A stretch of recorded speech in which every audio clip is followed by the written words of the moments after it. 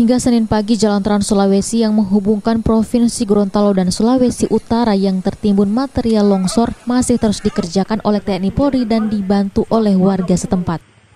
Pekerjaan dilakukan dengan menggunakan alat seadanya. Meski demikian, kendaraan roda dua yang melintas di jalan tersebut terpaksa harus diangkat oleh warga setempat. Sementara kendaraan roda empat diminta putar balik karena longsor yang terdiri dari bebatuan dan pohon menutupi seluruh badan jalan. Longsor yang terjadi di Kecamatan Kabila Bone, Kabupaten Bone, Bolango Gorontalo ini diakibatkan curah hujan yang mengguyur Gorontalo pada minggu kemarin. Rencananya material longsor akan dibersihkan dengan menggunakan alat berat.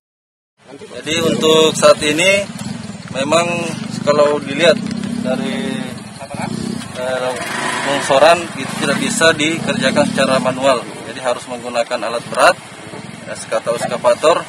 Nah, itu sudah kami konfirmasi ke bagian pemerintahan desa.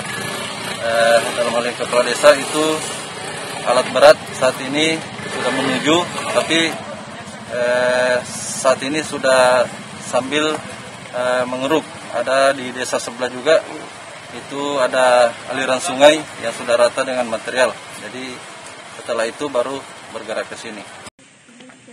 Maskur menambahkan pengendara roda dua yang melintas di sepanjang jalan yang rawan longsor diminta untuk berhati-hati. Pasalnya hujan yang mengguyur Gorontalo hampir setiap hari terjadi.